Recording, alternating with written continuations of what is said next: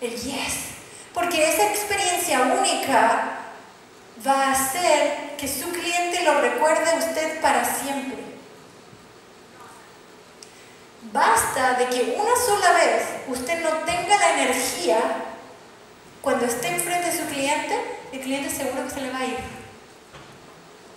It's so true that that you have to create a unique experience for your client every time the client interacts with you. You know why? Because if there's one time that that client gives you a call and your energy was low, and you were arguing with your husband, and you had a bad day that day or whatever, the client will feel out of steam about you. Maybe go with the next one.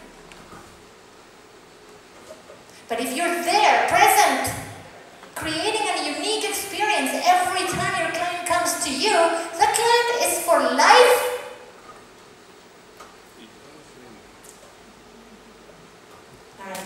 That also applies to when you talk to your husband, you create a unique experience for you.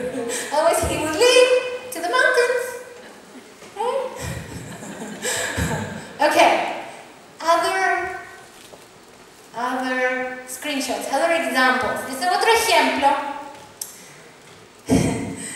this tax preparation office, they